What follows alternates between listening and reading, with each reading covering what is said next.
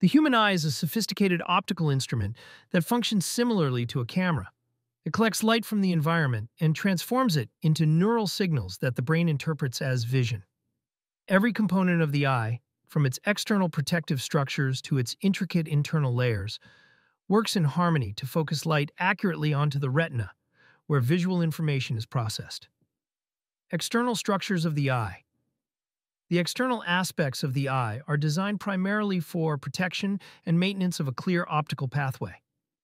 The eyelids, eyelashes, and conjunctiva are all critical in shielding the eye from foreign particles and excessive light, while also helping to distribute tears evenly over its surface. The lacrimal apparatus, which includes the lacrimal gland and associated ducts, produces and drains tears, ensuring that the eye remains moist and that the corneal surface stays free from debris and pathogens. Eyelids, eyelashes, conjunctiva, and lacrimal apparatus. The eyelids are movable structures that protect the eyeball from mechanical injury and serve to spread the tear film uniformly across the eye during blinking. Eyelashes act as a first line of defense, trapping dust and small particles before they can reach the eye's delicate surface. The conjunctiva, a thin and transparent membrane that covers the sclera and lines the inside of the eyelids, plays a vital role in lubrication and infection prevention. In tandem with these, the lacrimal apparatus produces the tears that not only moisten the eye, but also help remove any irritants, ensuring the cornea remains clear and receptive to incoming light. Internal structures of the eye.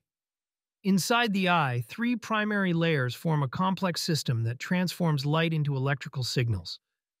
These layers are arranged concentrically and include the outer fibrous tunic, the middle vascular tunic, and the inner nervous tunic. Outer fibrous tunic. The outer fibrous tunic consists of the sclera and the cornea. The sclera is a dense white protective layer that maintains the shape of the eyeball and provides an attachment for the eye muscles. In contrast, the cornea is a clear dome-shaped structure that covers the front of the eye.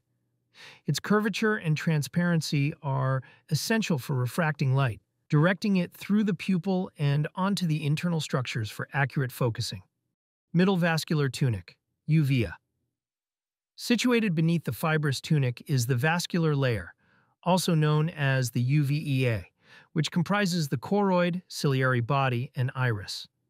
The choroid is a pigmented layer rich in blood vessels that supplies oxygen and nutrients to the retina while absorbing stray light to prevent image blurring.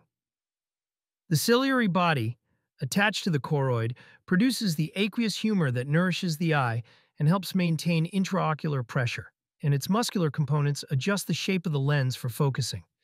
The iris, the colored part of the eye, regulates the amount of light entering the eye by altering the size of the pupil adapting to various lighting conditions. Inner nervous tunic, retina.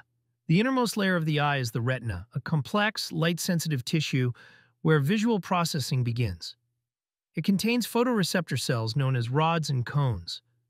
Rods are highly sensitive to light and facilitate vision in dim conditions, while cones are responsible for detecting color and providing high visual acuity in bright light. The central region of the retina, called the macula and within it the fovea, is densely packed with cones, making it crucial for tasks requiring detailed vision such as reading. The retina converts light into electrical impulses that are transmitted through the optic nerve to the brain, where they are interpreted as visual images. Lens and fluid-filled chambers. Behind the iris and pupil lies the lens, a transparent, flexible structure that adjusts its shape to focus light precisely on the retina. The lens's ability to change curvature, known as accommodation, allows the eye to clearly view objects at various distances.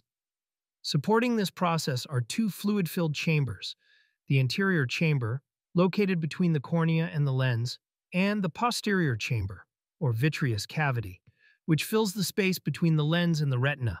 The aqueous humor fills the anterior chamber, maintaining intraocular pressure and providing nourishment, while the vitreous humor, a gel-like substance, helps to preserve the eye's shape and keeps the retina in close contact with the underlying tissue layers. Visual processing and the functional pathway.